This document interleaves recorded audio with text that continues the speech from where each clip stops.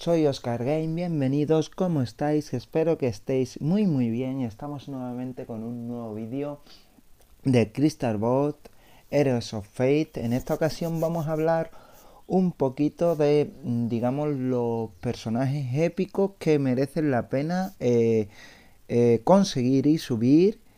Vamos a hablar de todos y cada uno de esos personajes, como digo, épicos. Para ello pues aquí simplemente me voy a un pongo el filtro de épico y vamos a hablar de los personajes épicos que eh, hacen que son buenos, que hacen falta, que digamos que son los mejores que podéis obtener. Eh, vamos a empezar con, por ejemplo, Aria. Aria es bastante bueno. Es una defensora de los remantes Vanir apoya de forma incansable a lo que queda de su gente y desea reanimar Sanizeir. En la batalla puede purificar las desventajas que tengan nuestros aliados, incluso restaurar maná. Y es un personaje de apoyo energético. Esto es, importante diferenciar entre eh, energético y físico, ¿vale? Porque de eso depende su ataque. Hay personajes que esto lo, lo, vamos, lo habréis visto en el vídeo anterior de una guía inicial de qué hacer, etcétera, con unos pequeños índices, ya se habrá visto, pero lo repito en un momento. El persona, hay personajes que pueden ser de ataque energético y de ataque físico. Esto hay que diferenciarlo.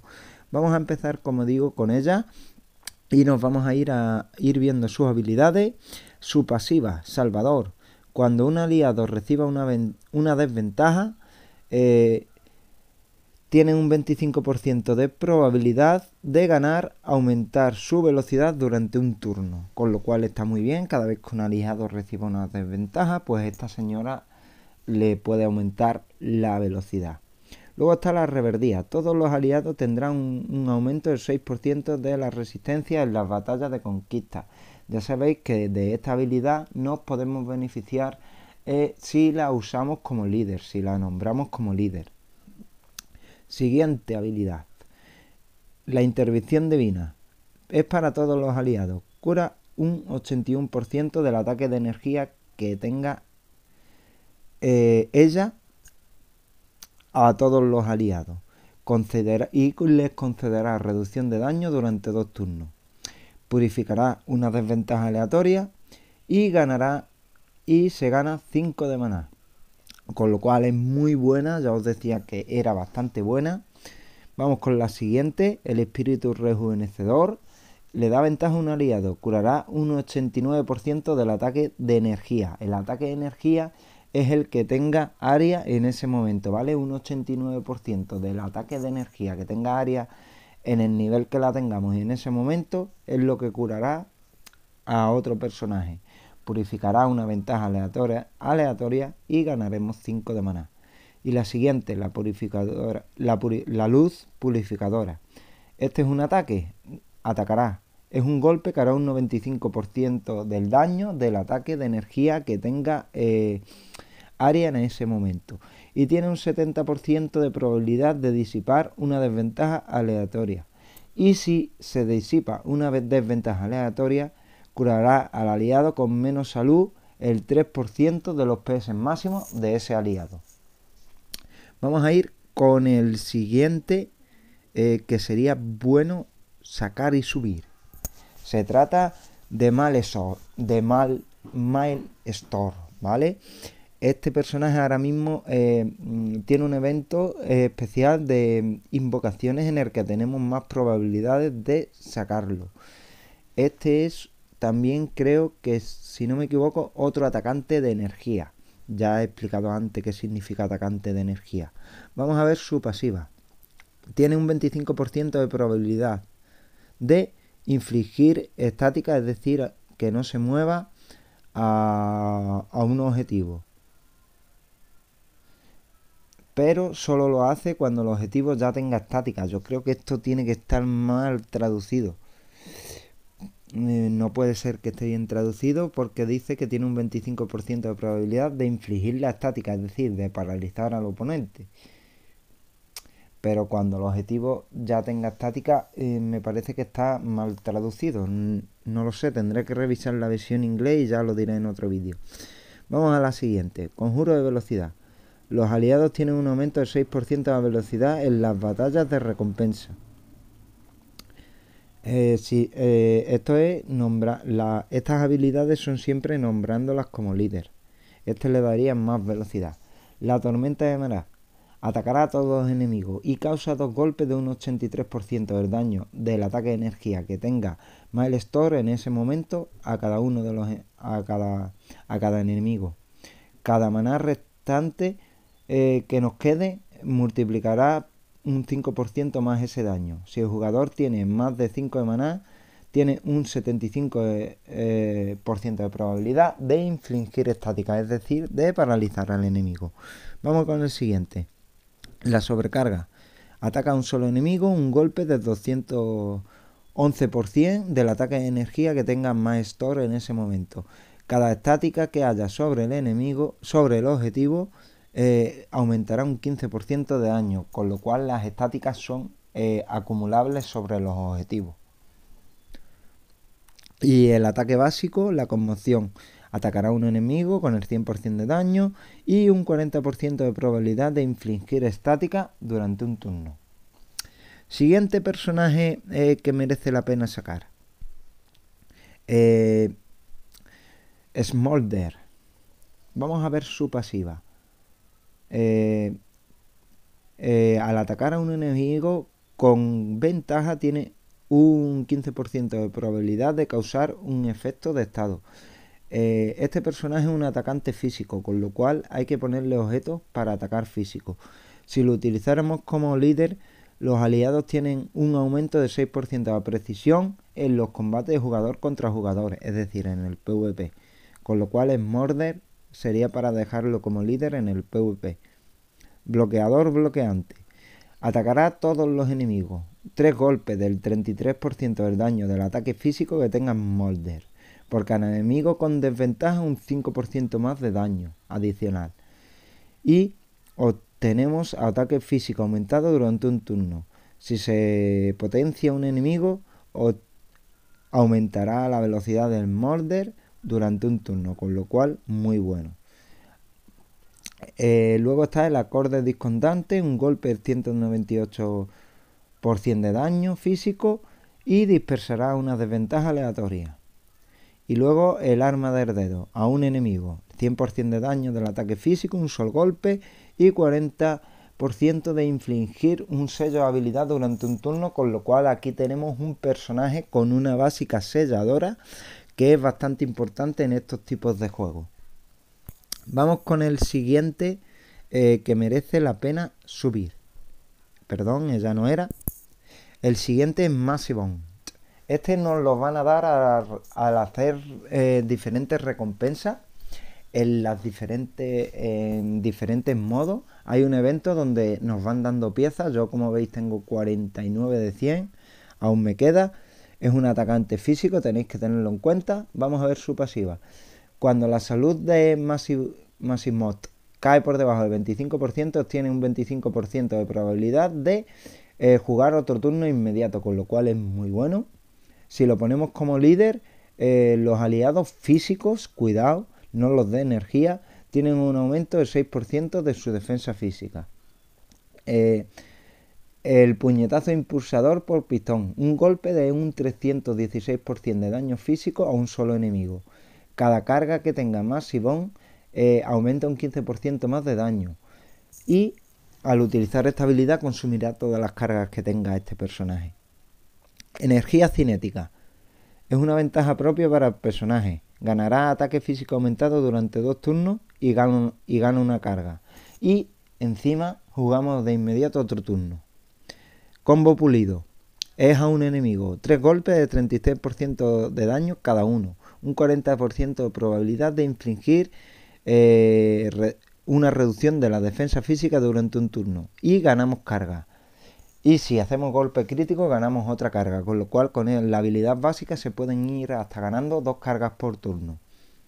Lo cual nos viene bastante bien porque eh, nos sube el daño del puñetazo impulsador por pistón, con lo cual muy bueno. Siguiente personaje a épico, que estamos con los épicos a subir, sería eh, Estíroco. Ya sabéis que hay uno eh, que es de oscuridad y uno de luz. En este caso, este es el de luz. Es un atacante de energía, con lo cual hay que equiparlo con, con equipo que supa el ataque de energía. Su pasiva. Él mismo obtendrá un 5% de defensa de energía. Eh, eh, digamos la habilidad de líder. Preparación de misión. Los aliados tienen un aumento del 7% del ataque de energía en la batalla de recompensa, es decir, en campaña y los diferentes modos donde tenemos recompensa, excepto en el PvP.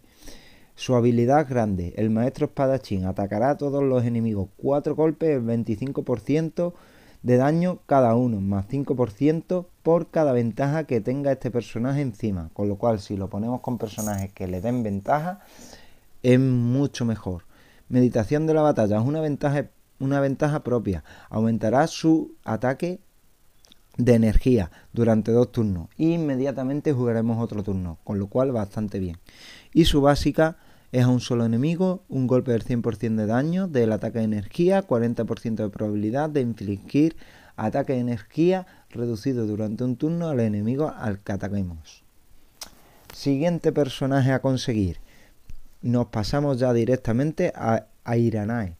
Es un atacante eh, energético, ¿vale? Tenerlo en cuenta. Eh, tenemos su pasiva, que es la restauración de la naturaleza en cada ronda. Si este euro tiene un 25% de vida o menos, se cura por 20% de ataque de energía. Es decir, si tiene 100 de ataque de energía, se curará 20 de vida, para poner un ejemplo. La de líder tiene un 50%, de, probabilidad de ganar 3 de energía de o 3 maná cada turno. Eh, la habilidad grande, la voluntad de vida, una curación de energía de escudo para todos los aliados. Los aliados con el máximo de salud ganan escudo y un 25% del ataque de energía. Y todos los aliados ganarán salud y el 90% de ataque de energía. Es decir, si los aliados tienen toda la vida, ganan un escudo y un 25% de su vida de ataque de energía. Y si les falta salud, ganarán un 90% de salud del ataque de energía que tenga Iranae en ese momento. Su segunda habilidad, la solidaridad. Es un ataque a un solo enemigo, un golpe del 168% de daño. Cada aliado con más del 75% de salud obtendrá un 5% de daño adicional. Si la habilidad de solidaridad mata a un enemigo, obtendremos un maná. Y la habilidad básica, un golpe del 100% de daño y un 20% de probabilidad de infligir ataque de energía reducido durante dos turnos al objetivo al que ataquemos. Siguiente personaje al conseguir. Eh, se trata de Sula. Es un personaje de ataque energético, ¿vale? Y es, digamos, es un sanador para que lo vayáis viendo. Su, digamos, su pasiva eh, Sula obtiene un 5% de defensa de energía, con lo cual es muy bueno. La siguiente, esta es si la pusiéramos de líder. Los aliados tienen un aumento del 6% de la defensa de energía. Su habilidad grande. Curación a todos los aliados, el apoyo de emergencia. Si un aliado tiene menos del 50% de la salud, curará un 126% del ataque de energía que tenga Sula en ese momento y si no, pues cura un 120 y aún así, de todas maneras, curará un 126% del ataque de energía que tenga Azul en este momento. Entonces, no sé por qué no está unida esta habilidad en un solo texto. El apoyo defensivo es una curación de energía también a un solo aliado. Curará un 223% del ataque de energía al aliado que elijamos y concederá defensa de energía aumentada durante un turno y su básica atacará a un enemigo haciendo el 100% de daño a ataque energía que tenga en ese momento Sula y un 40% de probabilidad de infringir una defensa de energía reducida a ese enemigo. Vamos con el siguiente personaje a conseguir subir y mejorar. En este caso es Ciclón, el, tipo oscuro del anterior, ¿vale? Es un atacante también de energía como su homólogo. Eh, Ciclón tendrá un 4% más de ataque de energía. Esto es una pasiva, una ventaja, una autoventaja para él. Y aquí dice que los aliados energéticos tendrán un aumento del 8% del ataque de energía si lo pusiéramos a él como líder. Lógicamente, para poner a Ciclón como líder debemos llevar eh, personajes que simple y llanamente ataquen, sean atacantes energéticos. Si llevamos unos físicos, no se beneficiará, digamos, de esta pasiva o de, o de esta habilidad de líder. Perdón. Maestro espadachín. Al igual que su homólogo, atacará a todos los enemigos un 4 golpes del 27% de daño a cada uno y un más 5% de daño por cada eh, ventaja que tenga encima Ciclón. Eh, la meditación de batalla, igual que su homólogo, es una ventaja propia que ganará ataque de energía aumentado durante dos turnos y obtendremos otro turno automáticamente, con lo cual llevar a, a este y a su homólogo de luz en un mismo equipo puede ser muy muy bueno y muy destrozante. Y su habilidad básica, un 90% de ataque de energía que tenga ciclón en ese momento y un 40% de probabilidad de reducir la defensa de energía del enemigo al que ataquemos. Siguiente personaje a conseguir, ya quedan mm, tres, ¿vale? Eh, en este caso se trata de Dendar, que nos lo dan fácilmente, en campaña podemos obtener fichas, con lo cual no hay problema. Su pasiva, Dendar obtendrá un 5% de defensa física, con lo cual ya sabemos que es un atacante físico, aunque es más estilo defensor, más estilo tanque. Los aliados defensores obtendrán un aumento del 7% de la energía física. Todo aliado defensor que vaya con él, si lo nombramos con líder, pues obtendrá un aumento del 7% de la defensa física. Su habilidad es grande, el golpe y la cuchilla. Es un ataque físico a un solo enemigo, dos golpes del, 100%, del 110% del ataque eh, físico que tenga en este caso eh, Dendar.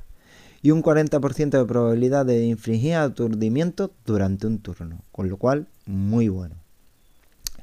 La segunda, la táctica defensiva, es una ventaja propia. Obtendrá provocar, es decir, que solo se le podrá atacar a él y ese provocar será durante dos turnos. Y ganará un escudo del 74% del ataque físico que tenga en ese momento Dendar.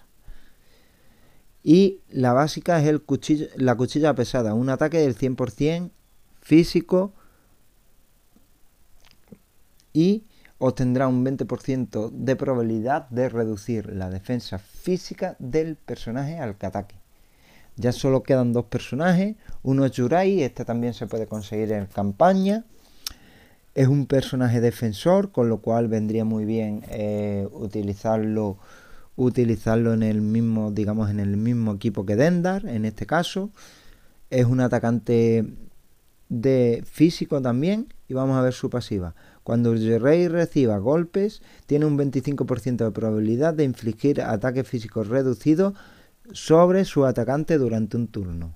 Si lo pusiéramos como líder, los aliados tendrían un aumento del 5% de la resistencia. Su habilidad grande. El gran aplastamiento es un ataque físico contra, contra todos los enemigos. Dará un golpe a cada enemigo del 99% de daño y un 20% de probabilidad de reducir la velocidad de los enemigos durante dos turnos, con lo cual es un debut bastante bueno. Luego tiene Provocar. Ganará provocar durante dos turnos y ganará defensa física aumentada durante un turno. Y además gana un 5% de subida máxima también al utilizar esta habilidad. Y el ataque básico que tiene es un golpe del 100% de daño a un solo enemigo y tiene probabilidad de reducir la defensa física del enemigo durante dos turnos. Y por último, el último épico que merece la pena subir se trata de Zora. E, esta nos la dan directamente, es con la que empezamos el juego, con lo cual no vais a tener ningún problema en tenerla. Es un atacante físico. Vamos a ver su pasiva. Zora tiene un 5% de aumentar a ella misma su probabilidad de crítico. Luego, si la ponemos como líder, tendrá, eh, hará que los aliados tengan un aumento del 5% de la probabilidad de crítico, con lo cual muy bueno. Su habilidad grande es un ataque físico a todos los enemigos, un solo golpe a todos los enemigos del 130% del ataque físico que tenga ella en ese momento.